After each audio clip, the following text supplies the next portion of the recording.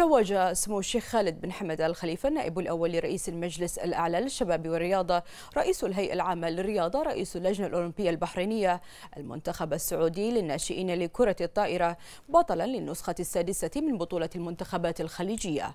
وذلك بعد فوزه على منتخبنا الوطني للناشئين بنتيجة ثلاثة أشواط مقابل شوطين في المباراة النهائية التي أقيمت أمس على صالة الاتحاد البحريني لكرة الطائرة. وقد شهدت المبادرة المباراة. حضور سمو الشيخ سلمان بن محمد الخليفة نائب رئيس الهيئة العامة للرياضة وسمو الشيخ عيسى بن علي الخليفة نائب رئيس اللجنة الأولمبية البحرينية ورئيس التنفيذي للهيئة العامة للرياضة سعادة الدكتور عبد الرحمن صادق عسكر. وأمين عام اللجنة الأولمبية البحرينية سعادة السيد محمد حسن النصف. ورئيس الاتحاد البحريني لكرة الطائرة سعادة الشيخ علي بن محمد الخليفة وعدد من الأعضاء ومنتسبي الاتحاد.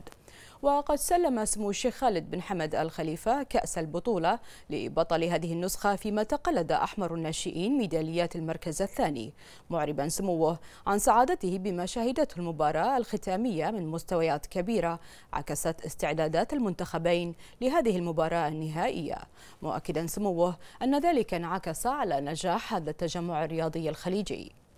وقد هنأ سموه رئيس وأعضاء مجلس إدارة الاتحاد السعودي لكرة الطائرة بمناسبة فوز المنتخب السعودي للناشئين بلقب النسخة السادسة من بطولة المنتخبات الخليجية. مشيدا سموه بما قدمه ناشئو الأحمر من أداء كبير طيلة المنافسات. متمنيا سموه حظا أوفر لمنتخبنا في المشاركات المقبلة. وثمن سموه الجهود الكبيرة التي بذلها الاتحاد البحريني لكرة الطائرة برئاسة سعادة الشيخ علي بن محمد الخليفة في استضافة وتنظيم هذه البطولة بالتعاون مع اللجنة التنظيمية لكرة الطائرة بدول مجلس التعاون بدول الخليج العربية والذي كان له الأثر الواضح في ظهور هذا الملتقى الرياضي.